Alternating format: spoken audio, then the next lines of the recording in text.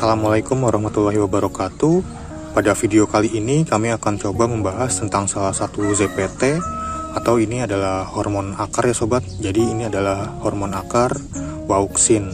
Nah, seperti apa hormon wauksin ini? Apa saja manfaatnya dan bagaimana cara penggunaannya? Langsung saja kita coba bahas ya sobat. Nah, jadi wauksin ini adalah hormon akar ya sobat ya. Di sini wauksin ini mengandung bahan aktif indol asetit asid sebanyak 5% atau biasa yang disebut atau disingkat dengan IAA.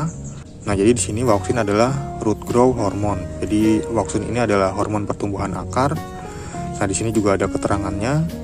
Jadi wauksin ini digunakan untuk merangsang perakaran stek atau cangkok, untuk pembentukan akar adventif, merangsang pembesaran buah, mempercepat kecambah biji tanaman.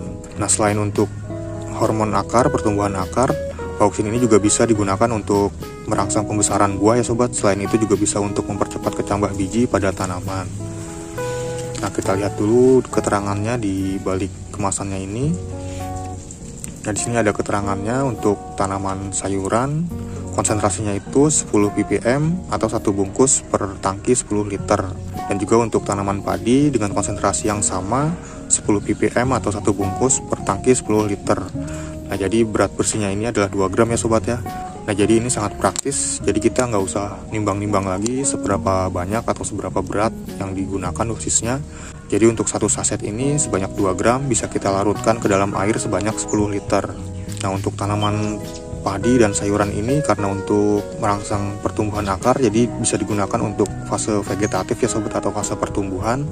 Kemudian untuk merangsang perakaran stek itu biasanya stekannya itu direndam dengan larutan wauksin ini dengan dosis tadi itu sebanyak 10 liter air untuk satu bungkus ini.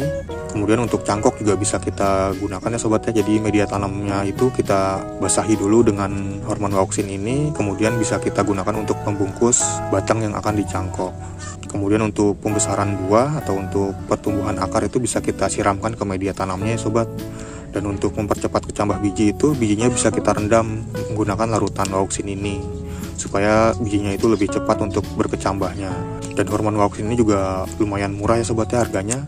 Untuk di toko-toko online itu di pasaran sekitar 3 ribuan sampai 5 ribuan lah kurang lebih. Nah sekarang langsung saja kita coba buka ya sobat ya seperti apa hormon wauksin ini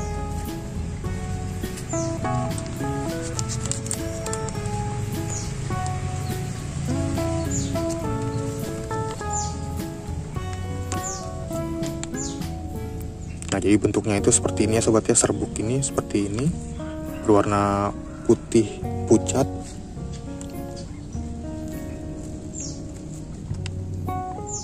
Dan ini sangat mudah larut dalam air ya sobat ya. Nah satu saset ini sebanyak 2 gram. Bisa kita larutkan untuk 10 liter air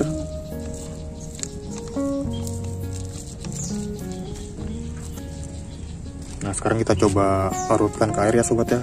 Dia beneran larut dalam air apa enggak? Nah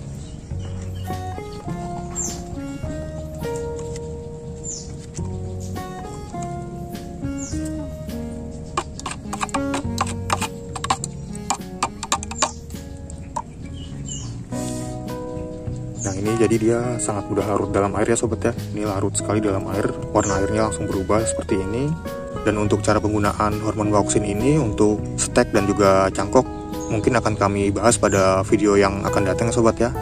Jadi jangan lupa untuk subscribe channel ini supaya tidak ketinggalan update dari channel Ayo Berkebun.